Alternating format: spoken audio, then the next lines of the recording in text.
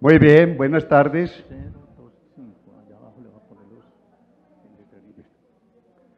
Buenas tardes. Vamos a hacer un trabajo urgente de un tema muy urgente, pero muy largo. Esto que voy a hacer y es una proeza.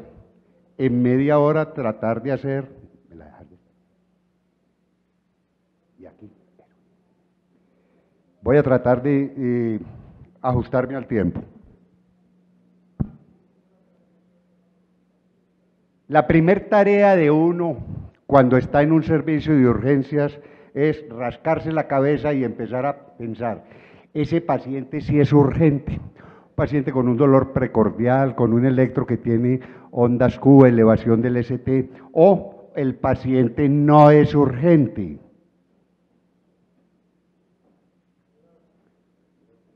Por ejemplo, un paciente con acné.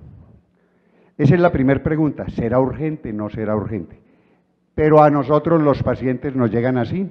El paciente cuando ingresa, usted sabe que viene a consulta, pero no sabe qué tipo de consulta trae este paciente. Si se trata de un paciente con trauma o de un paciente con una patología no traumática. Por ejemplo, una enfermedad diarreica aguda, un hipertiroidismo, una diabetes descompensada, etcétera.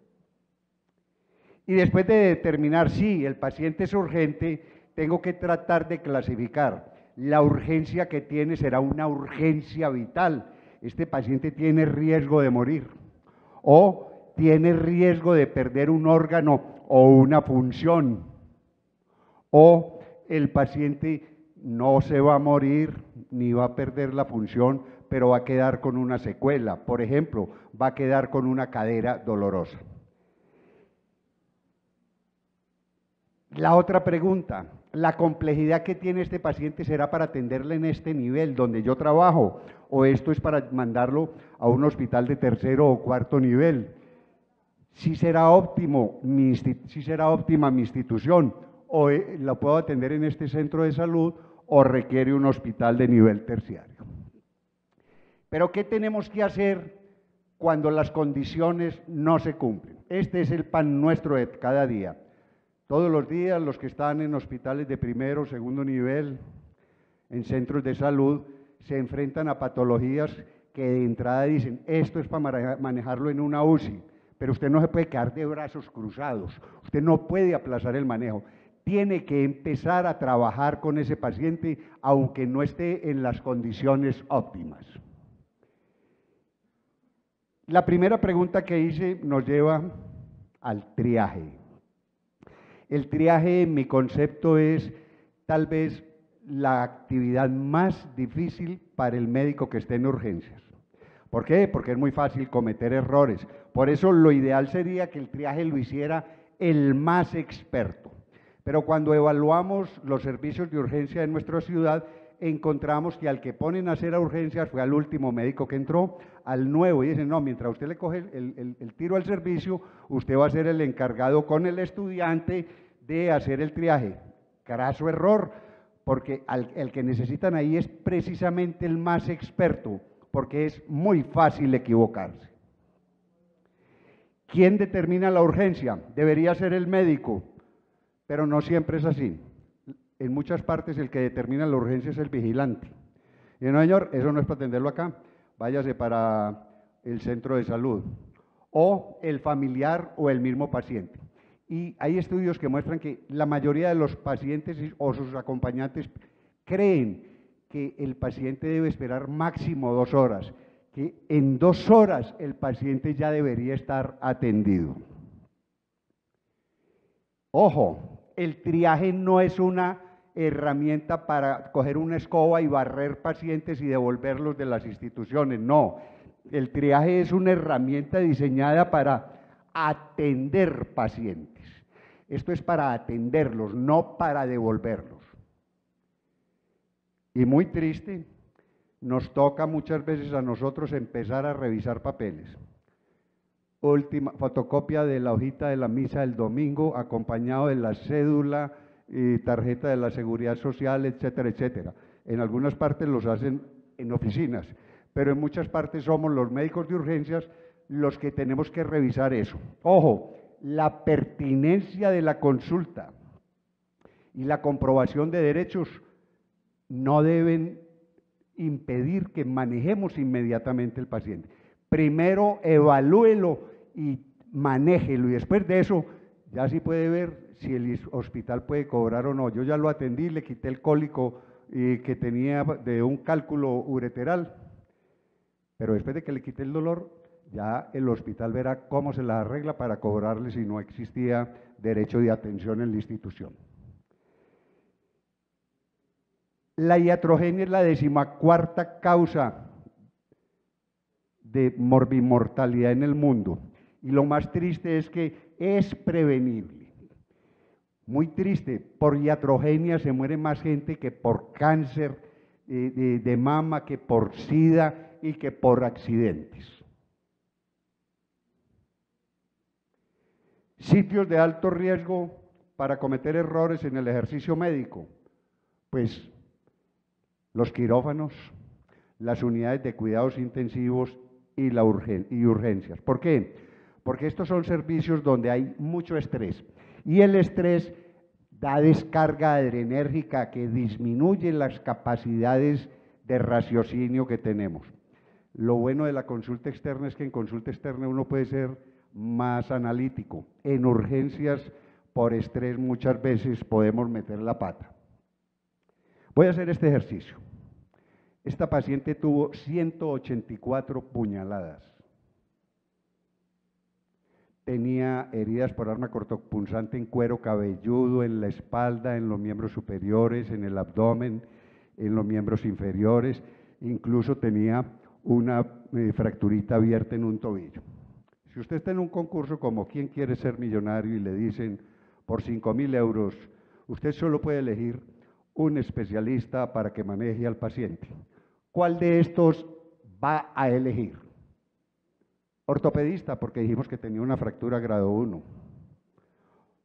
Un ginecólogo, porque además de las puñaladas tiene un flujo vaginal. Cirujano plástico para que le quede mejor, lo mejor posible eh, las suturas. Un cirujano general que se enfrentan a lo que se les atraviese. Un dermatólogo o un estilista. Si uno se pone a pensar ahí por 5 mil euros, probablemente todos cogeríamos el cirujano general.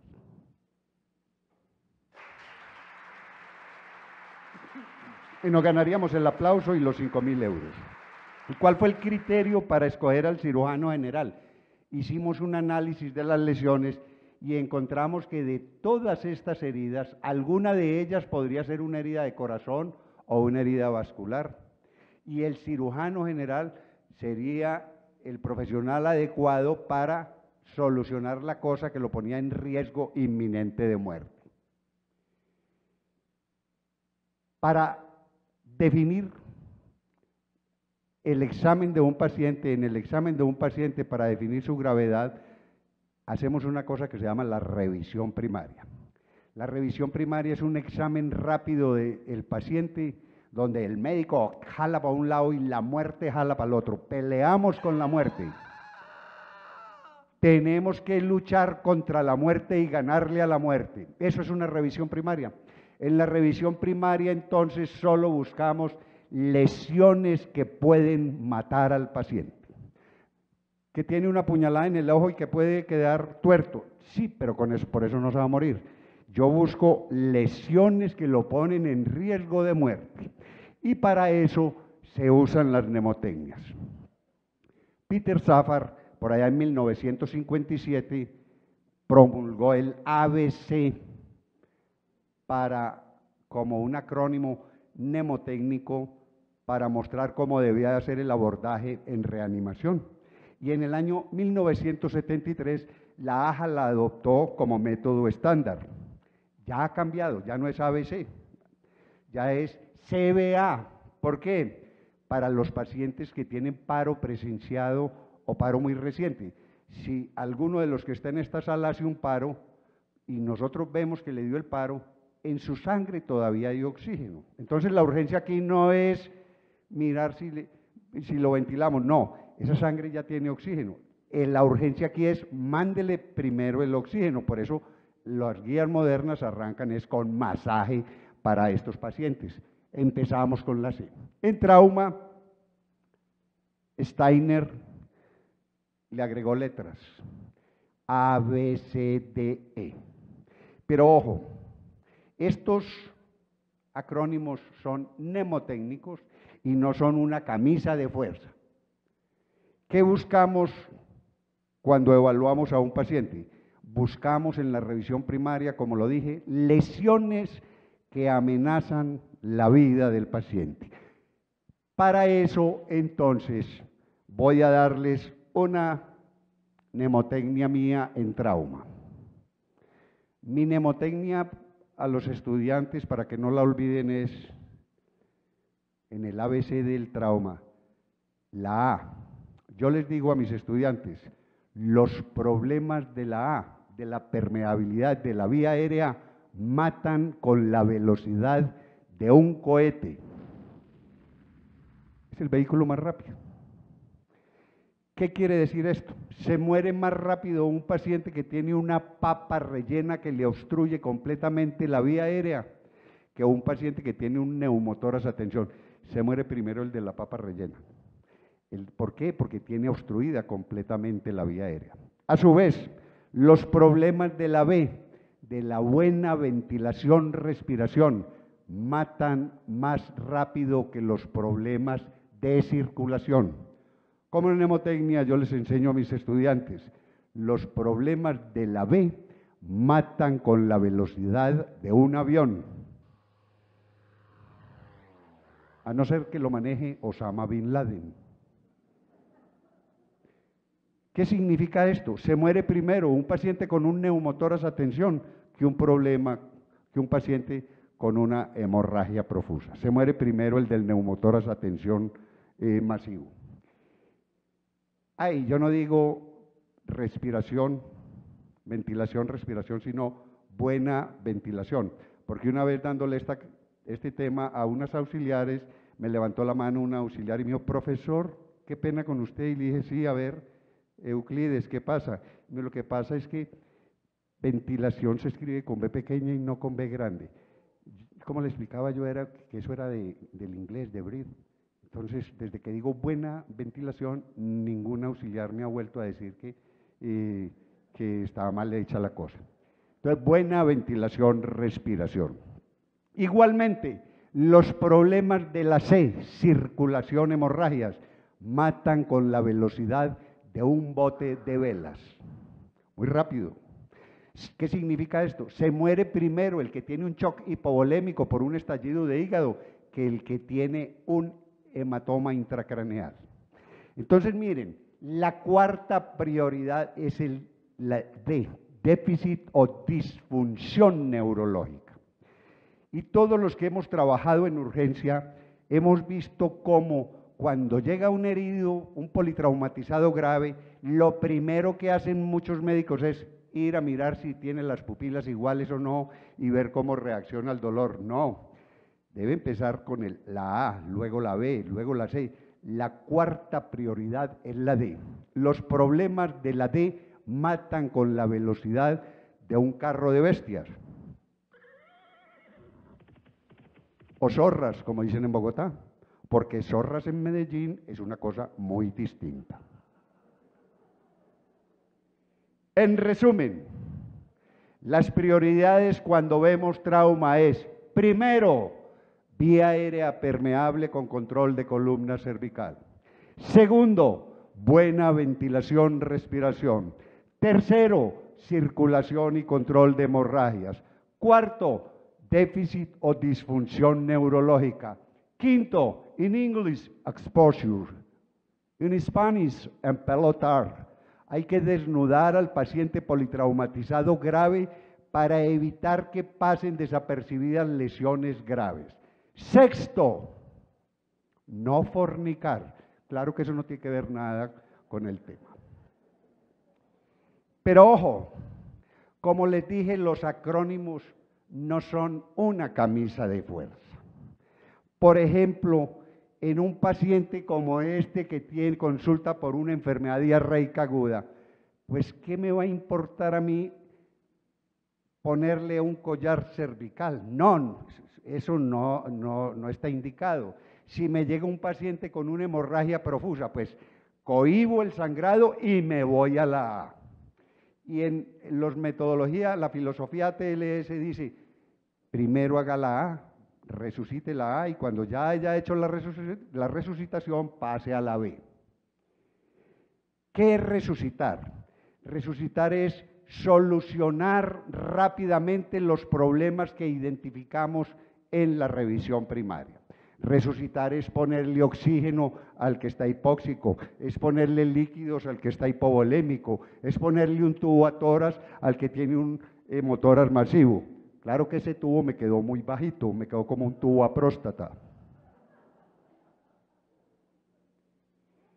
La resucitación no da espera. Cuando yo diagnostico, identifico un problema, inmediatamente lo debo solucionar. Yo no debo hacer un listado de problemas y al terminar el listado empezar a solucionarlo. No. Problema identificado, problema intervenido. La resucitación no espera. Este sí puede esperar nueve meses que embarazó a la novia y puede saber cuántos turnos extras tiene que hacer para conseguir pañales desechables, leches maternizadas, escarpines y manoplas. ¿Cómo se examina la A? Para examinar la A, si el paciente responde, póngalo a hablar, conviértalo en un locutor. Entonces lo primero que hago yo cuando el paciente con trauma llega es preguntarle, Señor, ¿qué le pasó?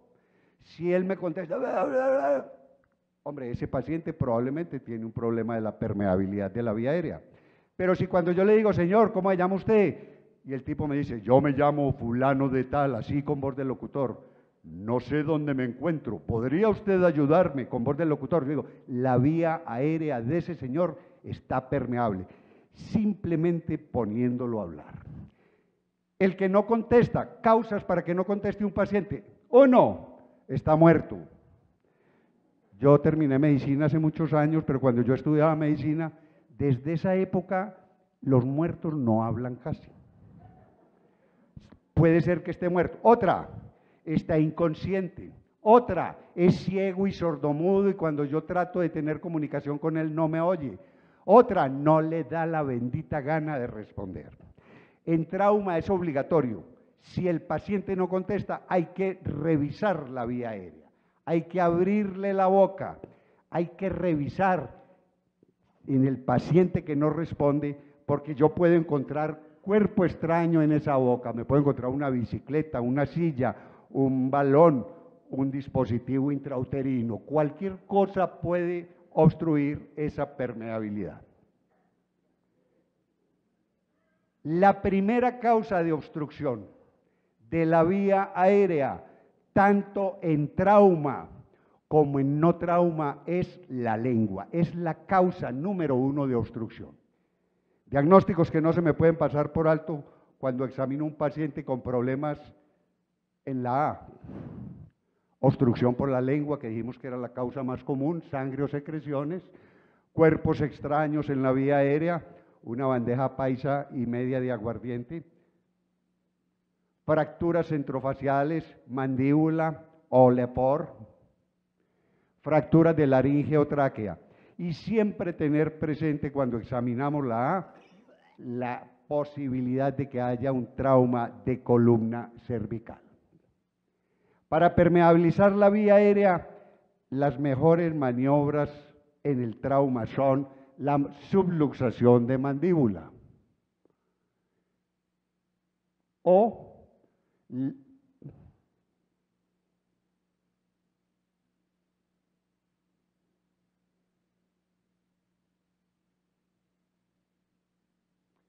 la subluxación de mandíbula o la tracción y elevación del mentón. ¿Por qué estas dos? Porque estas dos maniobras no mueven casi la columna cervical. En cambio, la que usamos en no trauma, usamos la frente-mentón, una mano en la frente, otra en el mentón, pero esta moviliza mucho la columna cervical. Si ustedes me miran a mí haciendo una tracción y elevación del mentón, miren cuello y una frente-mentón. Se ve la diferencia de movimiento. Entonces en trauma evitamos la frente-mentón. ¿Qué hacemos enseguida con el paciente? Le aspiramos secreciones y le insertamos una cánula faríngea, que puede ser una cánula orofaríngea o una nasofaríngea. La orofaríngea está indicada en el paciente que la tolera, está profundamente deprimido, está inconsciente, no protesta. La nasofaríngea también es muy buena, pero en el paciente luchador, el que se la devuelve o en el que le dan náuseas, o en aquel que tiene trismus y es imposible eh, insertarla. Pero recordar que en la nasofaringe hay que estar atentos al riesgo de que el paciente tenga una fractura de la lámina cribosa del etmoides, que esté eh, eh, echando sangre con líquido cefalorraquídeo, le hacemos la pruebita de, con la gasa, el, el, signo del halo, y esto nos puede permitir saber que si hay salida de líquido cefalorraquídeo estaría contraindicado. Todo politraumatizado grave requiere aporte adicional de oxígeno y lo ideal sería ponerlo con doble C, doble E. Es decir, ojalá la máscara la cogiéramos siempre con las dos manos y otra persona mueva la bolsa.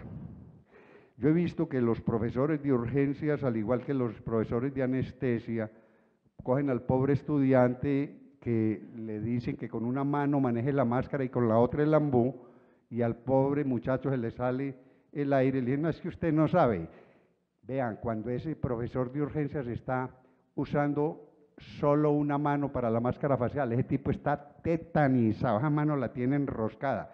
Él le dice al estudiante que no, él está tetanizado para él también es difícil. Lo ideal es son dos manos. ¿Cuándo lo haremos con una sola mano? Cuando estemos solos. Pero generalmente hay alguien ahí. Por ejemplo, el sicario que le pegó el balazo, uno le dice, usted que es tan querido, hágale a esa bolsa y el tipo le colabora a uno casi siempre. Hemos hecho la A. El objetivo de la A entonces es mantener una vía aérea permeable y control de columna cervical. Para examinar la B miramos el cuello y el tórax. ¿Qué miramos en el cuello? El pulso carotidio. Siempre que evaluemos pacientes graves, busquemos el pulso carotidio. Es el último que se pierde.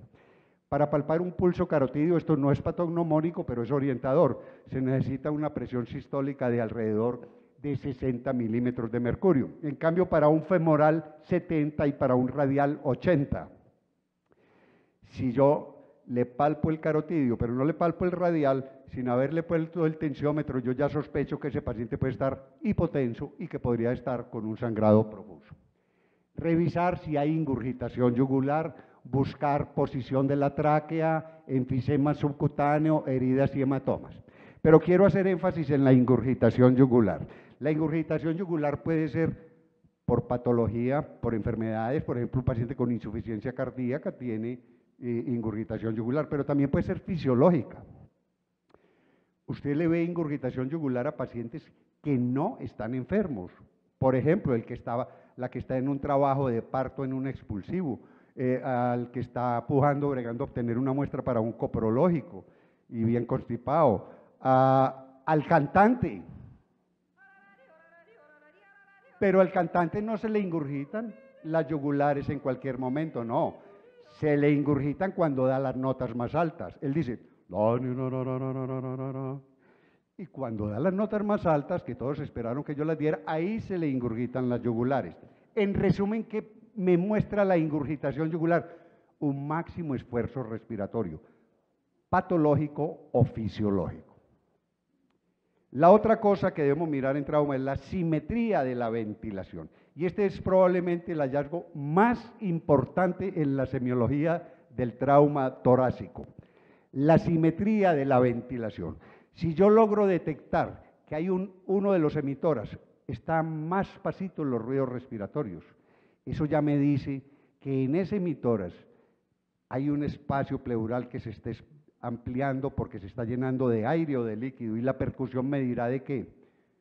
Es más importante que todo lo que enseñaba yo que di tantos años clases de semiología. Yo le decía a mi estudiante, bote la pectoriloquia, egofonía, crépito, ronco. No, usted lo que tiene que decir, qué tan fuerte se oyen los ruidos en este emitoras y qué tan fuerte se oye.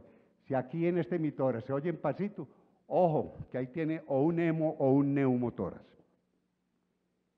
Buscar esfuerzos respiratorios, las retracciones, la simetría de la mecánica de la caja torácica. Normalmente cuando respiro, al tomar aire lo eh, insuflo, cuando exhalo se deprime. Si no ocurre así, yo estoy haciendo diagnóstico ya por inspección de un tórax inestable. Buscar enfisemas subcutáneos, laceraciones, fracturas y heridas. Y esa sería la buena ventilación, respiración. Dificultad respiratoria y garantizar una buena ventilación. Para examinar la C, rápidamente en la revisión primaria, yo busco ver cómo está el volumen sanguíneo y el trabajo del corazón. Como este es un examen burdo, muy rápido, miro tres cosas. Uno, el estado de conciencia. Pero yo ya lo había hecho. Cuando yo hice la A, hablé con el paciente, yo me di cuenta si estaba consciente o no. Otro, palpar un pulso central, el pulso carotidio, también lo había hecho cuando examiné el cuello en toras. Entonces bastaría con el tercer parámetro, mirar el color de las mucosas y de la piel. Un paciente que tiene pal blanco como un papel, con un pulso rápido y débil, ese paciente tiene un problema de la sed. Pero ojo, no todo paciente en shock está hipotenso. Lo ideal es hacer el diagnóstico de shock antes de que el paciente esté hipotenso. Y en hipotensión quiero llamar la atención sobre esta patología. El neumotórax, atención. En el neumotórax, atención, hay eh, colapso del pulmón.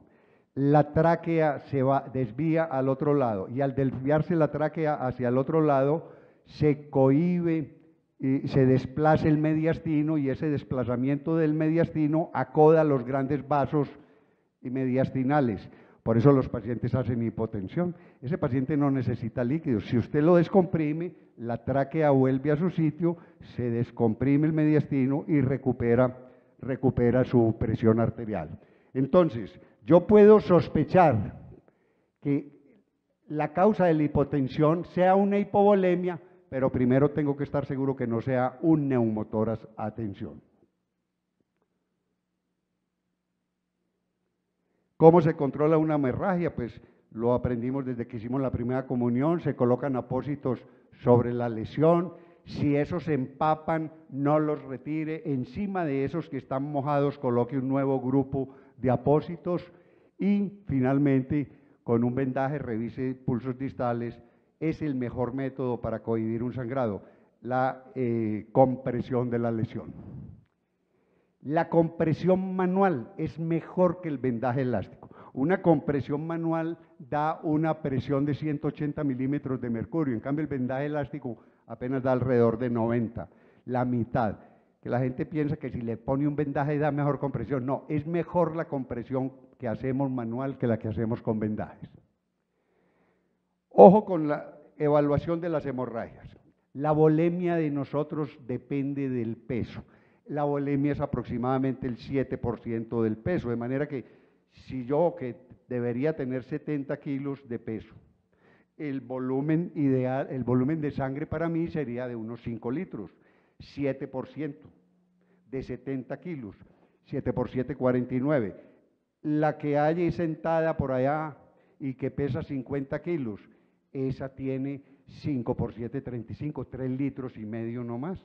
De manera que perder un litro esa muchacha que tiene 50 kilos o perder un litro yo que tengo 5 eh, litros es muy distinto.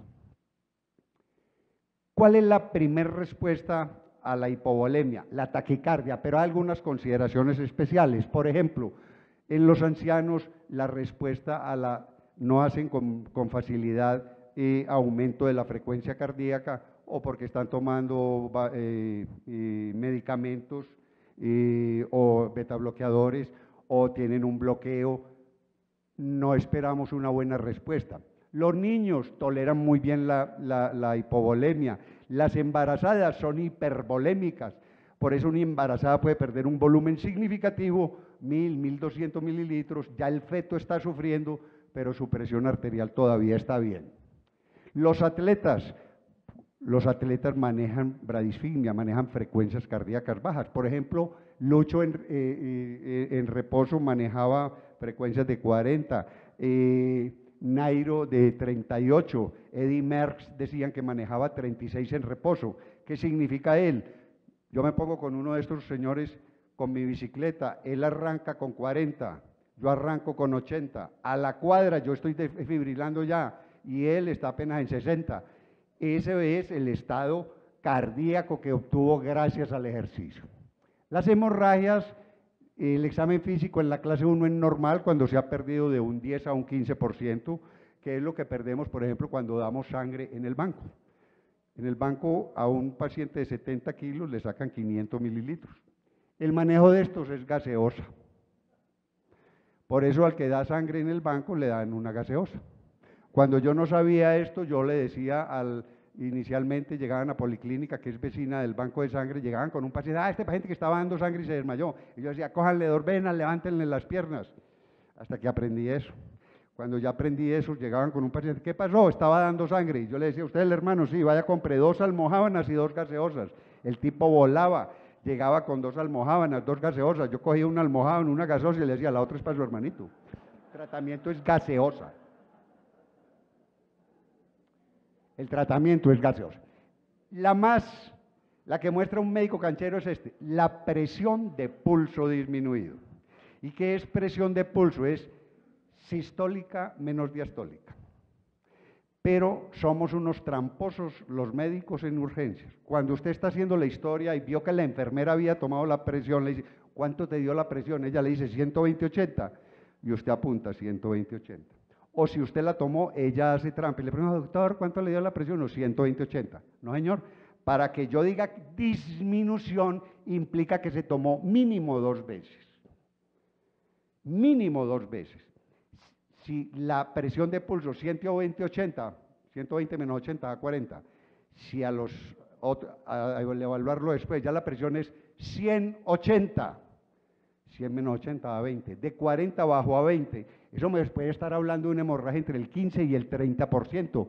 Es decir, en un paciente de 70 kilos, de 750 a 1500 mililitros. Y el tratamiento de estos pacientes son líquidos endovenosos. La hemorragia grado 3 ya hace hipotensión. Hemorragias hasta del 30%, el organismo es capaz de compensarlas inmediatamente. Pero hemorragias superiores al 30% se llaman hemorragias críticas porque ese paciente ya está hipotenso. Hasta el vigilante hace diagnóstico de doctor, ahí le entró un paciente con un shock hipovolémico y va uno y preciso. El diagnóstico es correcto. Este ya ha perdido de un 30 al 40%. El tratamiento de estos pacientes son líquidos endovenosos y algunos de ellos sangre. Y en la hemorragia grado 4, oliguria o anuria. Pero en urgencias son idénticos el 3 y el 4. ¿Por qué? Porque oliguria y anuria o anuria se diagnostican es en el tiempo, no cuando entra. Son pacientes que ya están más comprometidos su sensorio, están más eh, hipotensos y ya en estos la mayoría requieren sangre. A mí me ponen un paciente como este, no se le ven heridas, está pálido, inconsciente y tiene un pulso rápido y difícil de palpar, débil o ausente. ¿Qué tendrá este paciente? hombre, este paciente tiene probablemente una hemorragia oculta. O como decía mi mamá, debe estar reventado por dentro. Siempre que veamos un paciente con politraumatismo más inconsciencia, ojo, uno de los diagnósticos que hay que considerar es la hemorragia. La inconsciencia no solo se produce por trauma de cráneo, si yo empiezo a estrangular a alguien, le obstaculizo la permeabilidad de la vía aérea, queda inconsciente. Si le tiene un neumotoras, atención, si no ventila, hace inconsciencia. Si tiene una hemorragia, hace inconsciencia. Entonces yo quiero que de aquí salgan con un borrón y cuenta nueva. Es en ese orden en el que yo voy a descartarlo. ¿Dónde puede estar la hemorragia? En el tórax, pero ya lo había hecho en la, en la B. Fractura de grandes huesos, fáciles de evaluar. Quedaría el abdomen. Mire, una fractura de tibia puede significar una hemorragia de mil centímetros, una fractura de fémur de uno y medio a dos litros y una fractura de pelvis puede ser dos a dos litros y medio. Y esos pueden ser los responsables de la hipotensión por hipovolemia. Y antes nos enseñaban a manejar con grandes volúmenes, pero miren, desde 1945 se decía este señor, si se pasan líquidos sin que todavía esté listo el cirujano para corregir el proceso, entonces se está corriendo el riesgo de que la sangre que se le esté poniendo se pierda porque aumenta la presión y bota el coágulo. En Irak descubrieron los gringos que los líquidos endovenosos sin hemostasia aumentaban la, la mortalidad y entonces empezó a promoverse en trauma la reanimación hipotensiva. La reanimación hipotensiva es ideal en todos los pacientes que tengan trauma vascular mayor no controlable no controlable con compresión directa. Es ese paciente que tiene que ir a cirugía. ¿Cómo se hace? Se ponen bolos de 250 mililitros de cristaloides y tratamos de mantener una presión entre 60 y 75 milímetros. Pero se recomienda usar en hipotensos sin alteración del sensorio, porque hay riesgo en embarazadas por el feto, en niños en trauma de cráneo y en ancianos. En trauma de cráneo la hipotensión duplica la mortalidad. Y ojo, los líquidos endovenosos no sustituyen la necesidad de corregir eh, con cirugía o con compresión eh, la hemorragia. Y hemos hecho la. Para la D, tamaño y velocidad de reacción de las pupilas. Miren, llevo casi cinco minutos hablando, pues yo le digo eso al que controle el tiempo y apenas vamos a hablar de pupilas. Apenas vamos a hablar de pupilas. Tan importante es la velocidad como la diferencia de tamaño. Una pupila que reacciona lentamente es tan focalizadora como una anisocoria. Y lo otro es hacer eh, la escala de Glasgow y buscar signos de lateralización y lesión medular. El Glasgow se suman las tres respuestas y recordemos que tiene un mínimo de tres, un máximo de 15. Pero quiero resaltar algunos hallazgos oculares importantes al evaluar la D. Miren, el signo de skew. El signo de skew es la pérdida del eje horizontal de las pupilas. Las pupilas deben estar a la misma altura. Cuando una pupila está más alta que la otra, eso puede ser por una lesión axonal difusa. El Robin, para mí el signo semiológico ocular más importante de toda mi vida en trauma. Son movimientos lentos del ojo hacia un lado y hacia otro. ¿Por qué son tan importantes? Porque no se pueden simular. Un simulador, como está enfocando, fragmenta el movimiento. El que hace un Robin no lo fragmenta. Esto me dice que el paciente está desconectado de su entorno y puede ser, si es trauma, por ejemplo, en vez de coger buceta, la buceta lo cogió a él. Yo digo, tiene una lesión axonal difusa. Pero si no es por trauma, si no, eh, no es por trauma, sino por patología médica, sospechar que el paciente está inconsciente. Por ejemplo, un diabético, pensar en hipoglicemia, pensar en otras causas de shock o está en la fase profunda del sueño. Miren, en este paciente vean que hay una pupila más alta que otra, ese es un skew, y los movimientos hacia abajo es el bobbing ocular.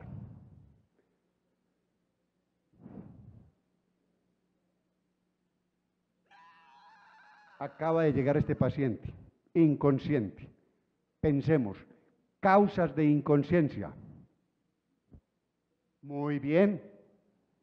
Puede estar hipóxico, puede tener un problema de la ola B, no, no es un problema de permeabilidad de la vía aérea de ventilación. Ah, entonces puede ser una hipovolemia, puede tener una hemorragia oculta. Ojo, ese es el orden. Podría ser por un trauma de cráneo, pero nunca diga que es por sobredosis de depresores del sistema nervioso central. La causa es esa, y quiero resaltar esto. Paciente con TEC e hipotensión en un adulto, el volumen que cabe en el cráneo no es suficiente para explicar eh, una hipotensión. Y hemos hecho la D. Antes de las 9 de la noche termino. Luego la E, vamos a desnudar el paciente con tijeras, lo giramos en bloque y le hacemos el diagnóstico, lo cubrimos para evitar la hipotermia. Idealmente pasar líquidos tibios. Se pueden poner se pueden calentar en un horno microondas todos, excepto la dextrosa, porque se convierte en chocolatina, o la sangre porque se lisa. Y hemos hecho la E. Debemos pasar una sonda vesical, medir la eliminación urinaria cada hora y mantener eh, eh, una diuresis adecuada. Hemos hecho el ABCD del trauma, ya acabé prácticamente. Luego hacemos la revisión secundaria, es un examen completo. Este sí digo yo, es un examen con un interrogatorio como el que hace un estudiante de semiología en su última historia del semestre y un examen físico como el, como el que hace el R1 al terminar el primer año que examina de todo. Ese coge pestaña y lo compara con vello púbico y hace unos diagnósticos diferenciales sofisticados. Ese sí, un examen físico completo, dedos de la cabeza, los pies por delante y por detrás, con dedos y tubos en todos los orificios. Se toma, aquí se hacen los procedimientos especiales, se hace una historia que como nemotecnia decimos es una historia amplia, es decir, alergias, medicamentos, patologías y embarazo, libaciones y última ingesta, el ambiente. Muy bien, jóvenes, muchas gracias.